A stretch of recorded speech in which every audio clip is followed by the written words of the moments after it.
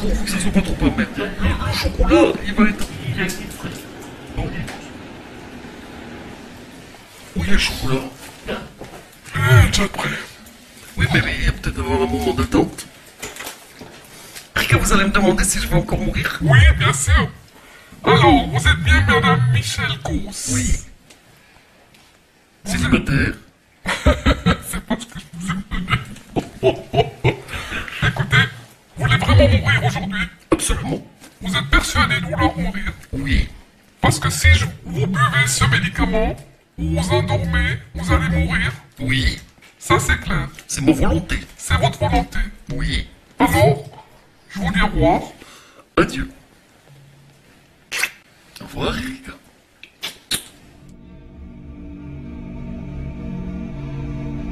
French citizen Michel Kos chose to die in Switzerland by drinking 15 grams of diluted pentobarbital. Switzerland is the only country in the world that facilitates assisted suicide for foreigners, and the only one that allows groups such as Exit and Dignitas to organize prescription death. Michelle didn't have a life threatening disease, nor did she do anything illegal. She chose to die on her birthday, July 29th.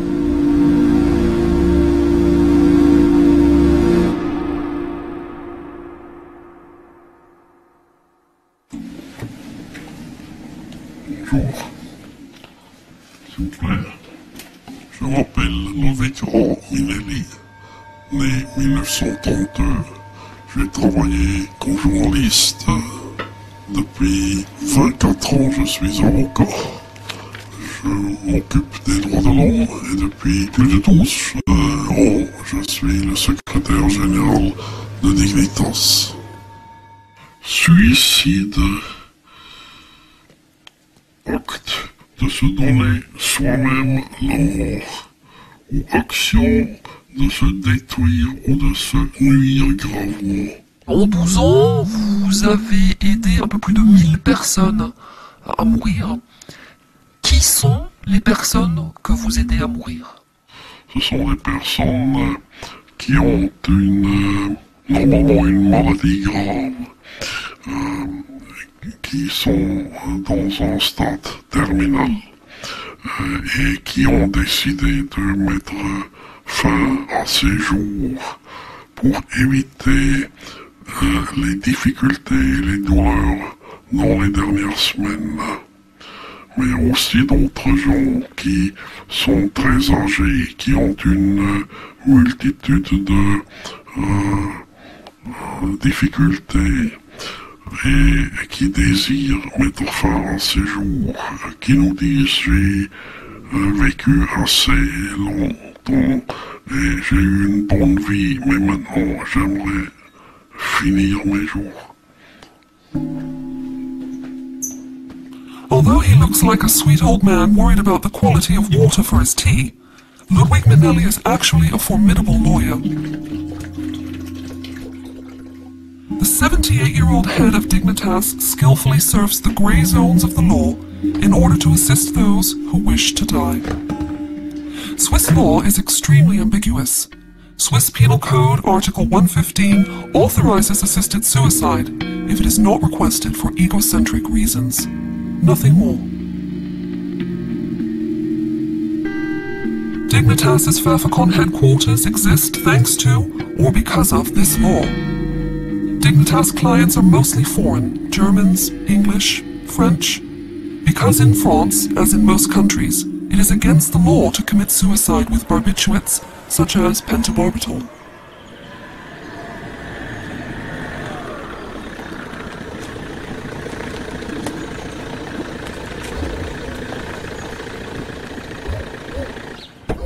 Valmont near Paris. Regine Salva and her husband will never get over the loss of their son, who died under extremely dramatic circumstances. 24 year old Remy Salva had a serious degenerative disease which had been slowly destroying his nervous and muscular systems since he was six. Salut Milou Attention à Ninix. Allez viens Ninix, laisse-le monter. Bonhomme. maintenant. Ils ont- Vas-y, vas-y, vas-y. French television broadcasted a program on the disabled in 2007. When they interviewed the Silva family, Remy told them that he wanted to die. Je. Si, si ça enfin, si, euh, euh, euh, si je peux bouger plus rien. Qu'est-ce que vous pouviez lui répondre à, ce- à cette époque, à Rémi, quand il vous disait Moi, je veux plus vivre comme ça Qu'est-ce que vous lui répondiez? Mais que, qu'on comprenait sa, sa demande, mais que tant que, il y avait quand même toujours de l'espoir, on avait, il fallait toujours lui transmettre un espoir pour qu'il continue. Mais on comprenait très très bien sa demande, c'était euh, forcément très légitime. Vous aussi, au fond de vous, vous aviez toujours cet espoir que ça aille mieux, qu'il y ait des rémissions, qu'il s'apaise dans sa maladie. Non, non, non, très sincèrement, euh, c'est ce message qu'on transmettait à Rémi, et on avait compris euh, que sa maladie était mortelle, on avait compris qu'il euh, se retrouverait grabataire avec à la fois une destruction de, de, de, de sa motricité, mais une destruction neurologique, hein, la perte de toutes ses capacités. Il a quand même fortement exprimé la demande de de- d'euthanasie. Et en découvrant qu'en France, il n'y avait pas de possibilité, pas de loi à ce sujet, il avait été jusqu'à me dire, alors maman, à ce moment-là, je compte sur toi. Et c'est vrai que moi, euh, ma réponse spontanée lui a, été de dire, mais une maman euh, est là pour donner la vie, elle n'est absolument pas là pour euh, donner la mort à son enfant. Une maman, euh, ce que tu me demandes est terrible et il faut absolument que les lois évoluent. Et j'avais pas pu lui dire oui, je le ferai. Il a fait la demande de d'euthanasie et écrit, euh, voulu écrire une lettre à la présidence peu de temps avant sa mort. Et j'étais convaincu, nous on était convaincus que, que dans la réponse qu'il aurait, il y aurait peut-être une ouverture pour lui dire, jeune homme, nous y réfléchissons, voilà, euh, euh, la loi actuelle euh, est probablement adaptée à votre situation. À la limite qu'on lui monte. The French president's answer came three months before Remy's death.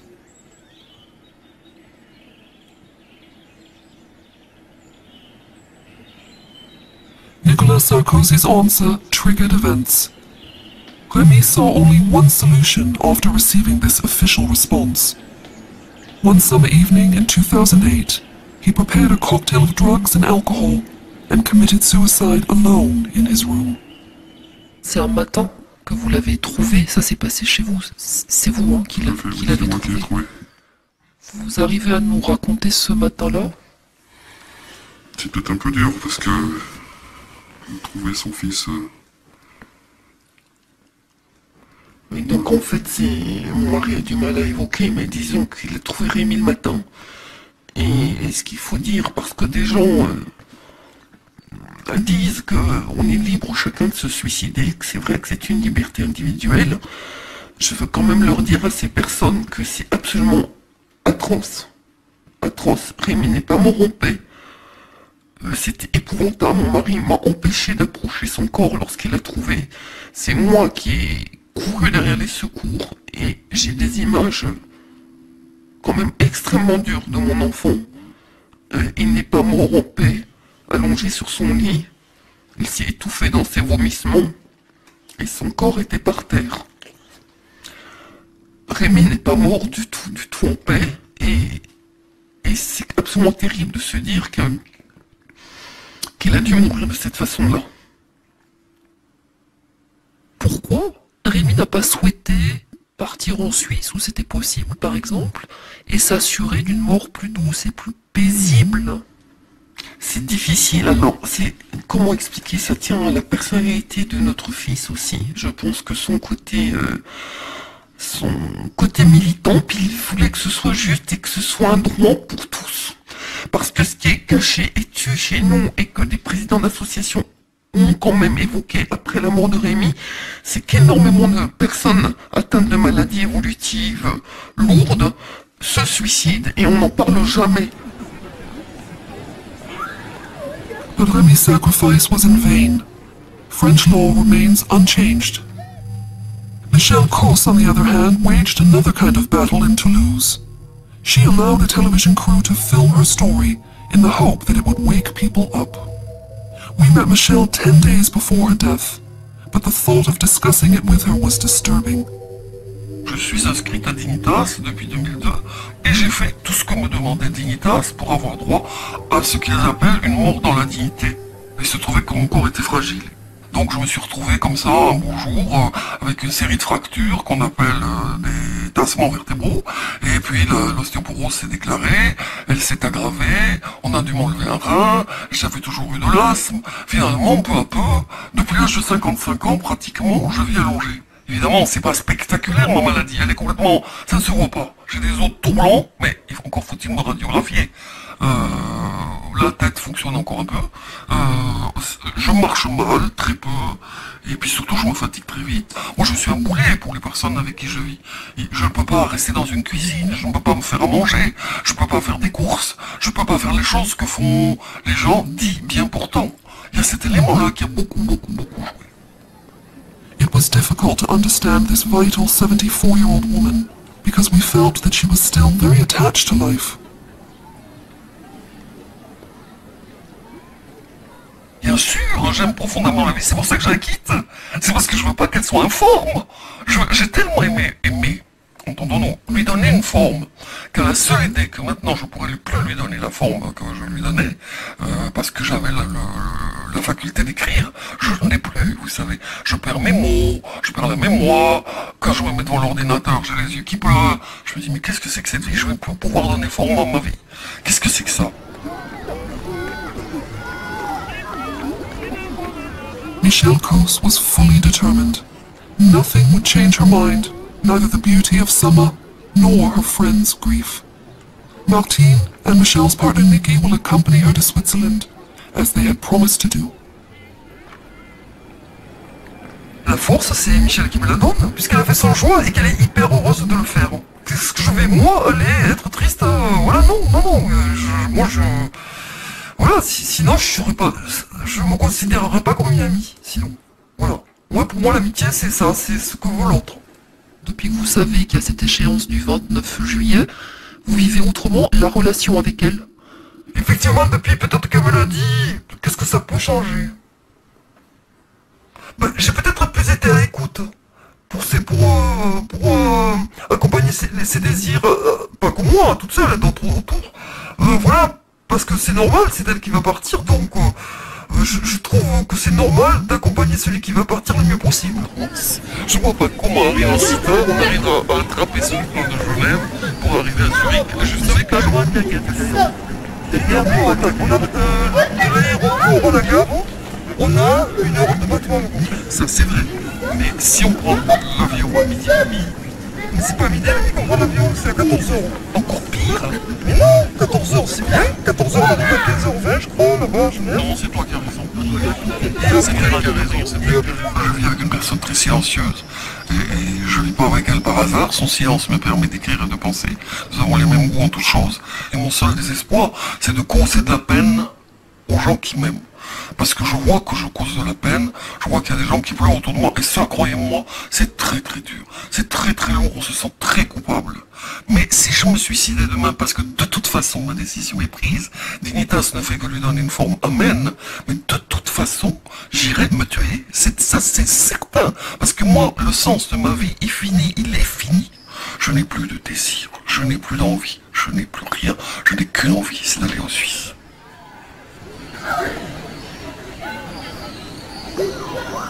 Certains trouvent que c'est du courage. Vous me trouvez courageuse, Oui. Mais enfin, expliquez-moi pourquoi c'est difficile. Mais c'est très facile de passer de la vie à la mort. C'est la vie qui est difficile. C'est pour ça que je ne trouve pas courageuse. Courageuse, je l'ai été puisque j'ai vécu. J'ai été courageuse tout le temps, à 20 ans, à 30 ans, à 40 ans, à 50 ans, 60 ans. J'ai fait preuve de courage tout le temps. Maintenant, s'il vous plaît, euh, je vais abattre cette potion, mais vous plaisantez. Enfin, c'est un jeu d'enfant. Tiens, voilà, tac, la merde, c'est dommage, mais après j'aurai du chocolat.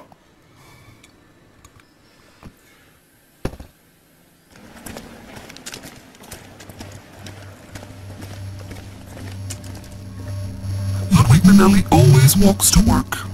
His office is 500 meters from his home in Forca, near Zurich. He works with a staff of about 12 people. Voit pas ici Dignitas travaille très discrètement. Ceux-ci sont les bureaux de Dignitas avec les différents postes de travail. Je vous présente Monsieur Lullet, un de nos collaborateurs et mon remplaçant. Et voici notre documentation. Tout d'abord, les dossiers verts. Là se trouvent les dossiers de tous les 5600 membres de notre association. Dans les dossiers blancs, nous avons les dossiers de nos membres qui ont demandé un suicide assisté, euh, qui sont toujours vivants. On est en train de travailler, ce sont à peu près 400 jusqu'à 600. On, ne connaît pas exactement le nombre, ça change. Là, nous avons les dossiers des gens qui ont été accompagnés chez nous. Dignitas has helped 1,044 people commit suicide over the past 12 years. Quelles sont les conditions pour faire une demande d'assistance au suicide Comment vous faites Alors, les gens nous contactent par téléphone, par courriel, euh, par lettre, et demandent l'aide au suicide. Alors, ils doivent tout d'abord devenir membres de l'association, euh, nous envoyer un dossier médical, nous envoyer un curriculum vitae afin que nous sachions un peu plus de cette personnalité et qu'on, dans nos yeux, le dossier est suffisant, nous le transmettons à un médecin et demandons au médecin seriez-vous prêt à écrire une prescription pour cette personne. Et quand il nous dit oui, nous disons la personne a maintenant le feu vert provisoire. The patient must travel to Switzerland and consult with a doctor in order to get the green light. Consultations usually occur in a hotel. Two 20 minute meetings to receive or be refused the right to die. J'ai cru comprendre qu'il fallait absolument avoir une maladie grave. Que c'était la condition. Non, euh, mais il faut avoir une maladie au moins. Il faut, euh, il faut Donc un rhume, on peut pas partir avec. Ah, selon non, mais si par exemple euh, une euh, personne euh, très âgée a 3, 4, 5, 6 différentes euh, maladies qui rendent euh, la vie très difficile, euh, alors là, il n'y a pas de problème. Das war eigentlich im Grunde wie Einschlafen. Also meine Frau ist völlig ruhig rübergegangen.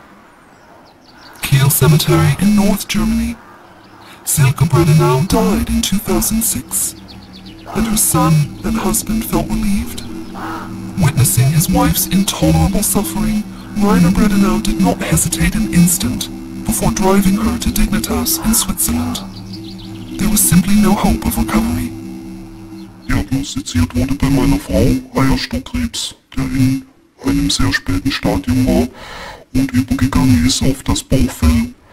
Und dann hat man hier in Kiel in der Uniklinik den Körper aufgemacht und hat dann eben festgestellt, dass nichts mehr machbar ist. Man hat den Körper zugemacht und meine Frau ist am gleichen Tag nach Hause gefahren worden. Meine Frau, ähm, die ahnte schon, dass es äh, eigentlich im Grunde nicht so übermäßig lange mehr dauern wird und sie hat mich dann gebeten, äh, vielleicht eine Organisation zu finden, die ihr bei dem Sterben etwas, äh, etwas unterstützend beistehen kann.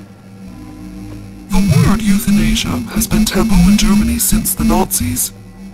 Only 40% of today's population favors assisted suicide. Legalization is therefore unimaginable.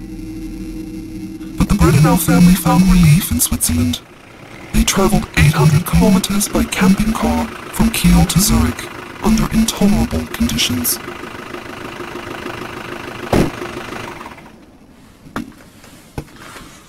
Ja, also das ist hier die Liegefläche, wo meine Mutter gelegen hat. Und hier auf den Tisch werden hier die Kissen gelegt, die normalerweise jetzt für die Rückbank da sind.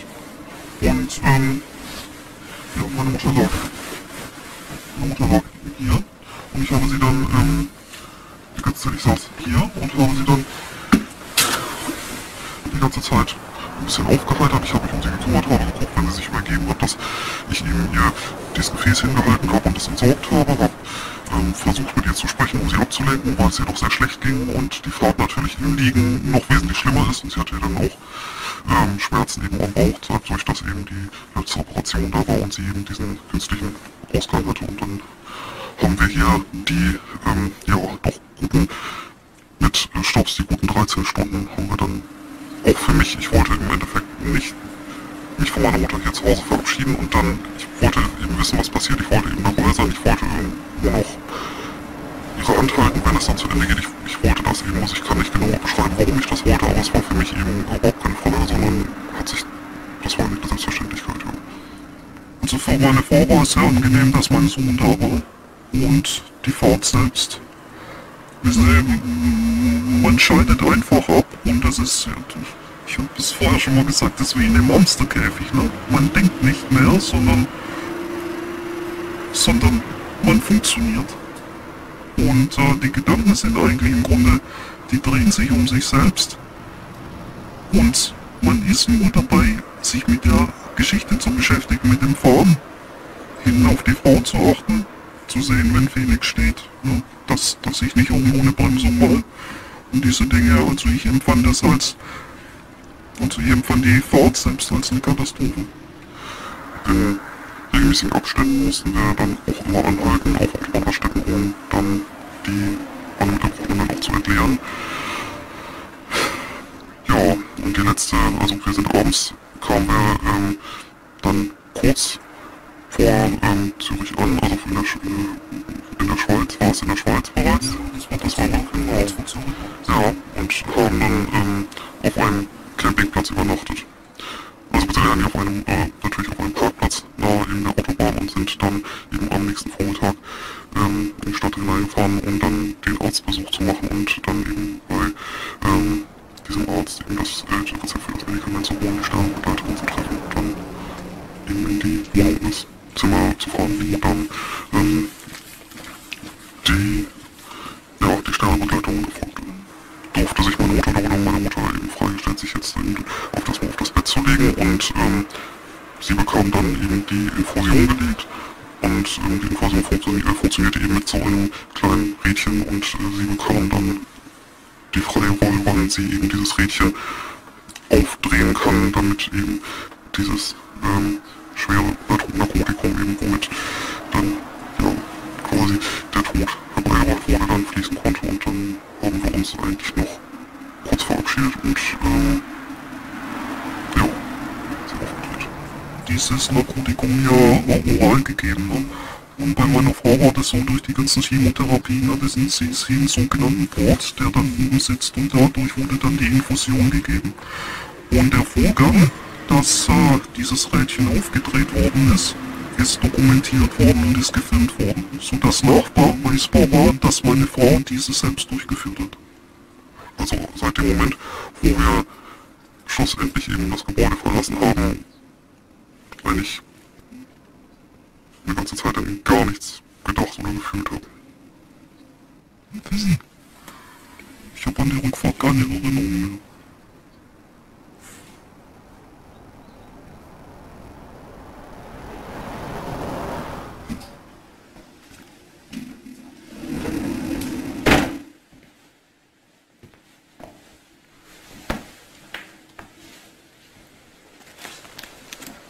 Eigentlich ist das von unserem Italienurlaub noch von damals.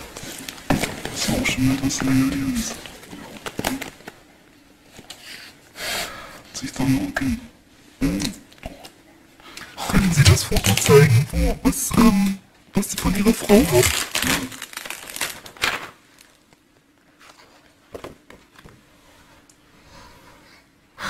ist meine Frau in einer Kiste, in einer Kiste. Meine Frau äh, war sehr künstlerisch tätig.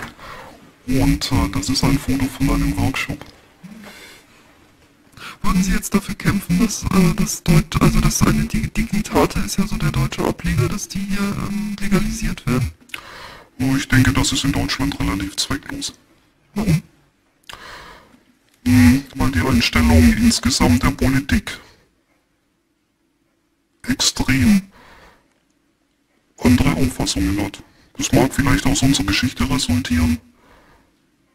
Oder aus welchen Gründen auch immer Lobbyismus aus, äh, von manchen Bereichen.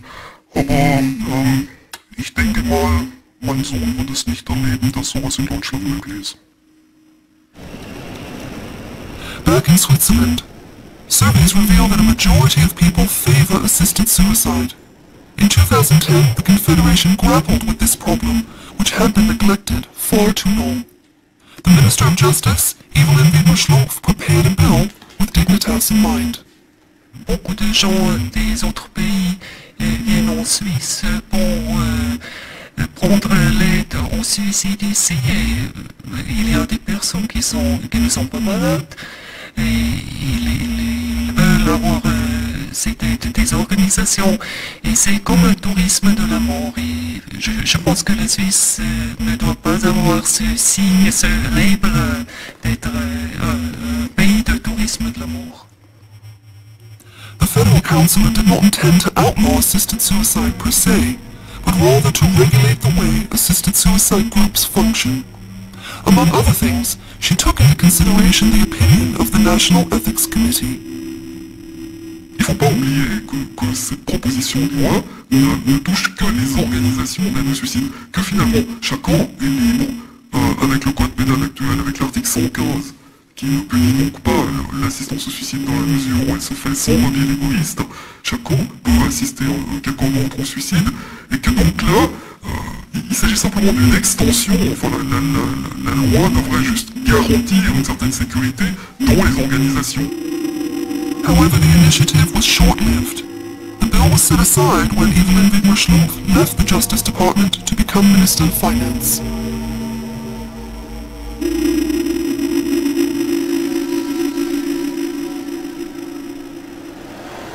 We traveled to Belgium, where, along with the Netherlands and Luxembourg, assisted suicide and euthanasia are legal.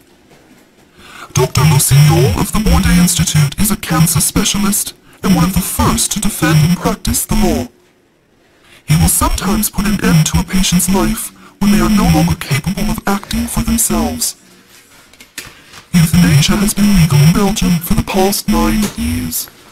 Vous venez d'avoir un coup de téléphone, non à l'instant Oui, oui, tout à fait. Qu'est-ce que c'était En fait, euh, c'était un peu, euh, un peu imprévu par rapport à la, à la journée d'aujourd'hui. C'était un- une consoeur qui m'appelle les soins intensifs et qui se trouve confrontée à un cas de demande d'euthanasie euh, chez un patient qui a fait une déclaration anticipée.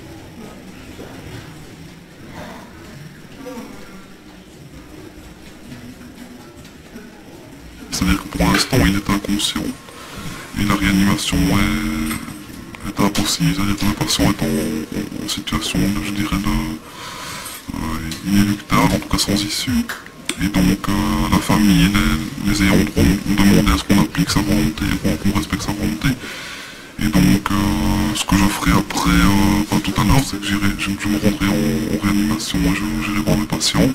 Même si je ne peux pas discuter avec lui vivre je, je prendrai con- connaissance du dossier, connaissance des déclarations anticipées, puis nous organiserons les choses en conséquence. Je pense que la famille aura, aura choisi un moment particulier. euh, en tout cas, ce ne sera pas maintenant. C'est clair qu'on ne peut pas faire les choses maintenant. euh, ça ne se fait pas comme ça. Et, euh, et personnellement, je ne serais pas capable non plus euh, d'obtempérer comme ça dans la minute. Euh, ceci dit, c'est le médecin en réanimation qui, va, qui, qui pratiquera l'acte et qui, qui m'a demandé d'être à ses côtés. Since the in 2002, euthanasia has been performed 900 times a year for a population of 11 million people. However, doctors in favor of euthanasia may not do whatever they like as they like. A government commission exists to ensure that they obey the law.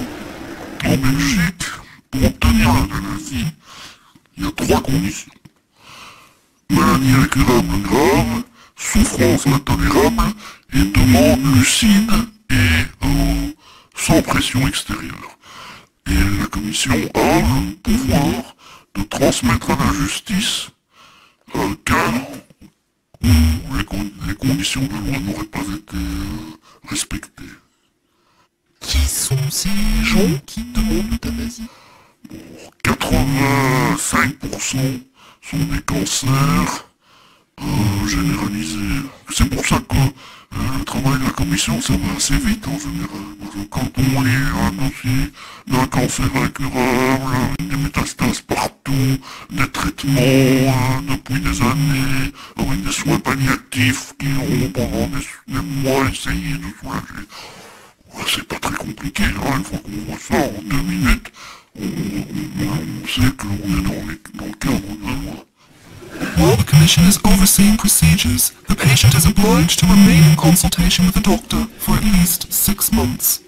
For Belgians, this period of therapy is indispensable. It creates a relationship of trust between the doctor and the patient. Simplement, en général, si on sera là jusqu'au bout.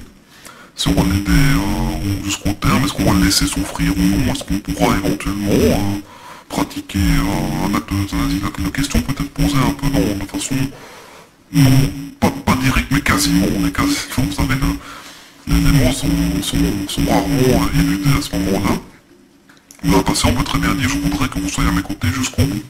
Et donc, ce que nous voyons comme question, en tout cas moi c'est ce que je dis, mais qu'est-ce que vous entendez? Qu'est-ce que vous entendez par là Être avec à mon côté, moi je veux bien, mais il aurait dit, mais est-ce que vous serez là au moment ultime où j'aurai besoin de vous pour, pour m'aider à, à mourir dignement? Et donc on aborde alors la question d'euthanasie.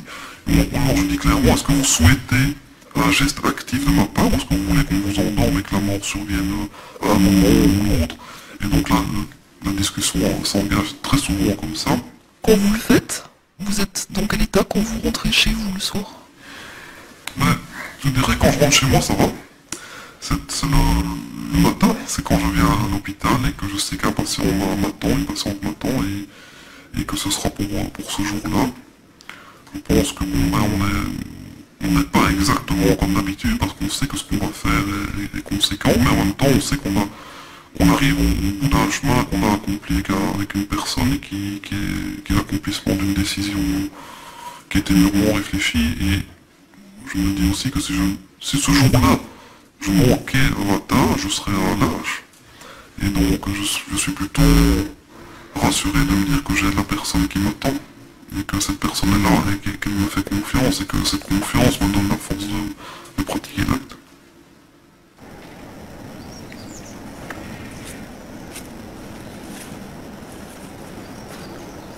Moi, j'aime beaucoup pour qu'on pour qu'on ait cette loi. Parce que chez nous, les gens mourraient comme on dit la mort naturelle. Euh, la mort naturelle, c'est très joli comme mot, mais c'est pas voir en général. Donc, euh, j'étais partisan de la possibilité de mettre fin à la vie de quelqu'un quand il a mort. Oui, tout à fait. Et donc, je suis tout à fait satisfait que nous ayons loi.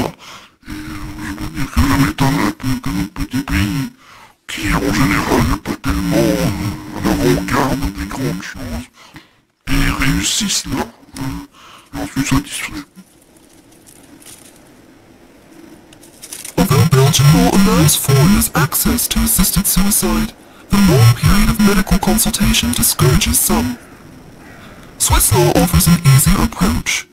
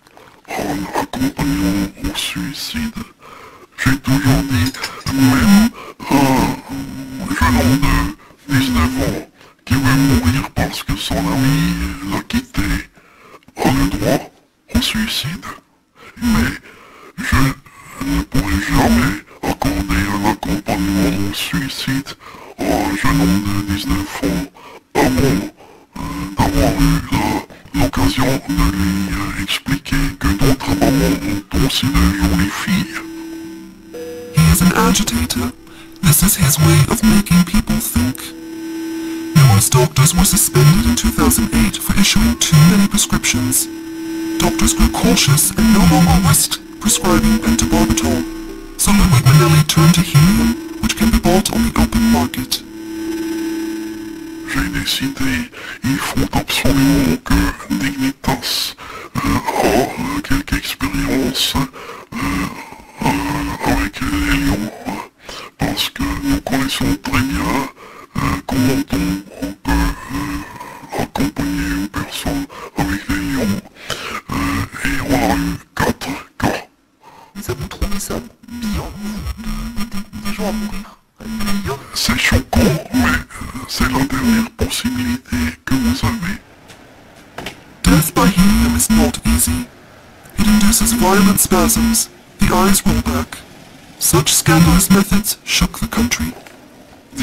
Quand ils font des suicides avec de l'hélium, là on voit la population qui commence à, se réveiller, à, se scandaliser, à se dire non, ça va trop loin, c'est pas possible.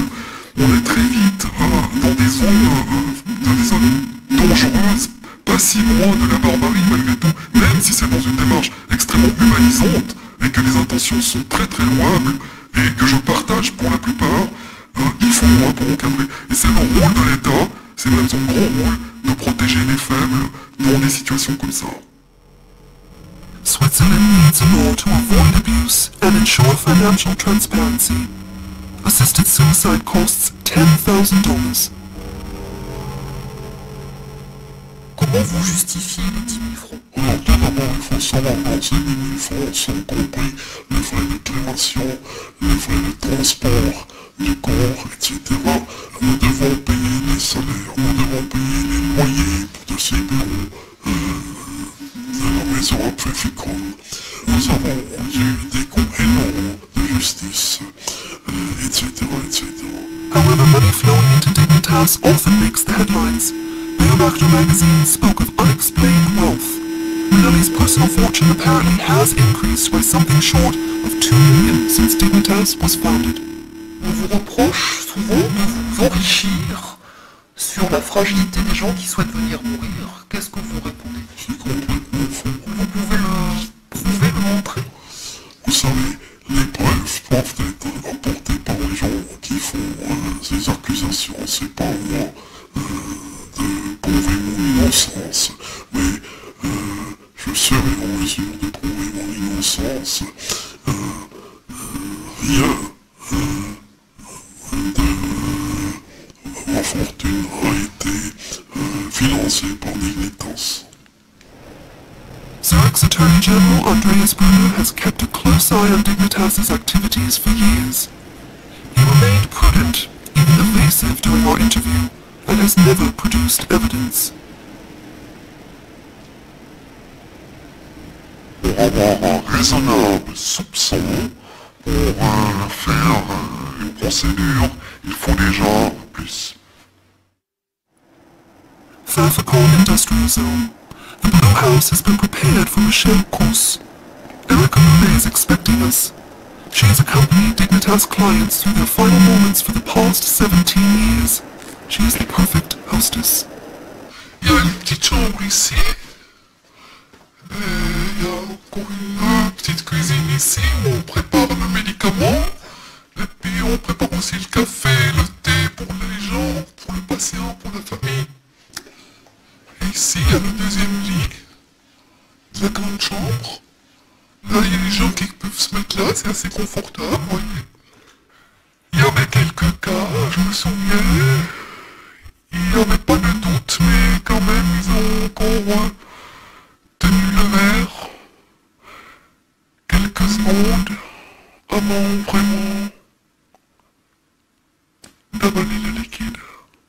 En se disant, probablement, je ne sais pas, en se disant peut-être, c'est vraiment la dernière fois que je bois quelque chose.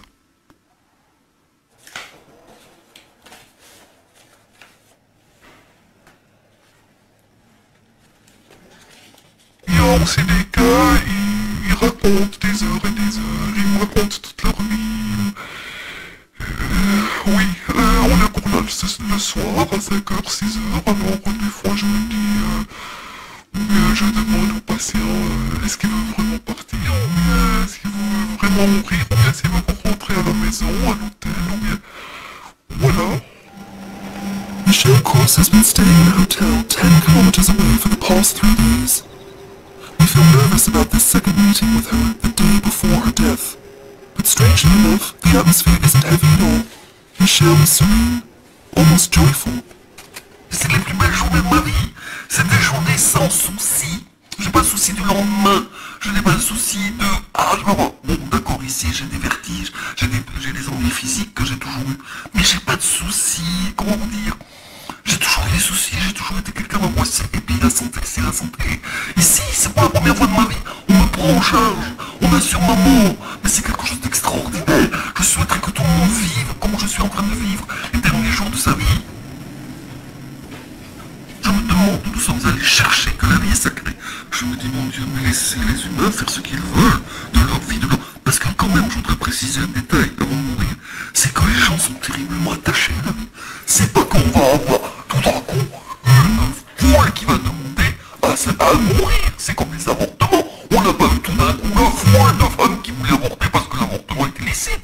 Alors croyez-moi, on est attaché comme des souris à notre vie. On veut la vivre, notre vie. On veut la vivre jusqu'à la lit. Et je fais partie d'ailleurs du lot. Il faut vraiment que je sois très mal pour dire adieu à la. J'ai voulu je suis comme tout le monde. Cette foutue vie, tout le monde est terriblement accroché à la vie. Alors qu'on ne s'inquiète pas, on peut donner le droit de mourir, on va pas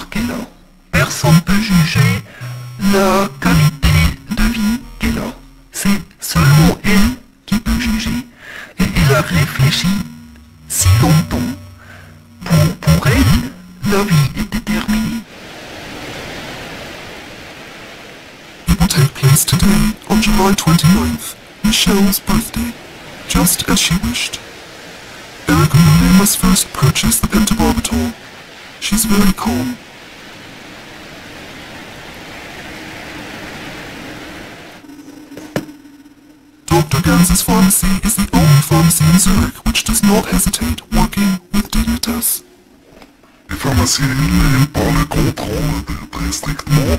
Et moi, la police à la pharmacie, euh, les n'aiment pas.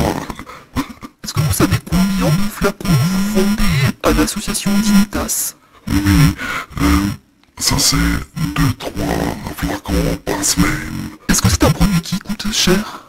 Non, c'est pas cher. Euh, 15 grammes, c'est 32 francs 40. Vous êtes allé chercher le pour tout à l'heure Oui, oui, oui, c'est ça. Quelles sont les conditions pour l'avoir Ah ben, il faut que j'ai le, le nom du patient qui veut partir aujourd'hui. Et puis il faut que je remplisse les feuilles, et puis il faut que je donne euh, mon, carte d'identité pour, euh, pour leur dire que je travaille pour l'organisation Dignitas. Autrement, je peux pas l'avoir. Est-ce qu'il y a un, un pour euh, aller chercher ce médicament? Aussitôt que le médecin a fait l'ordonnance, on peut aller le chercher. Oui.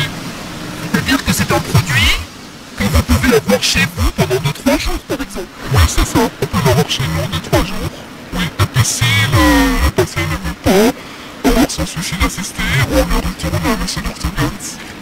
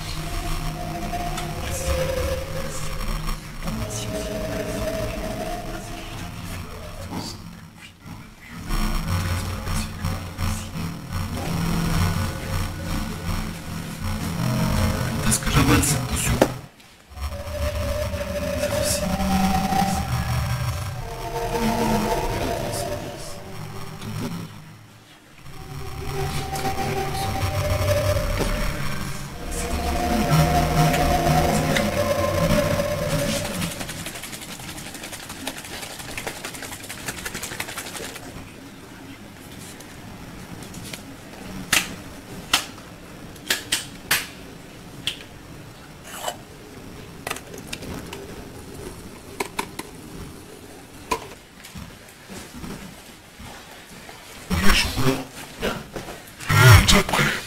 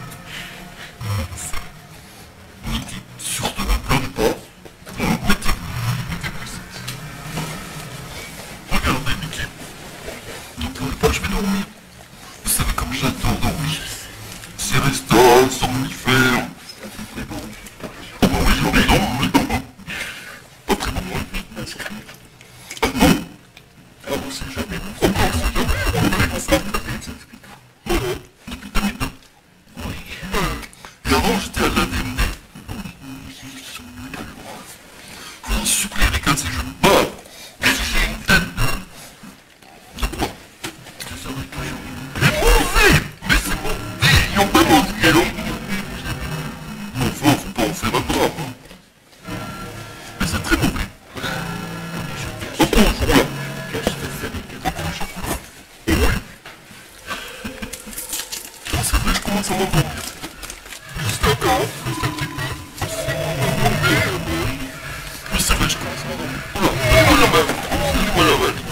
m'endormir parce que j'ai des vous savez.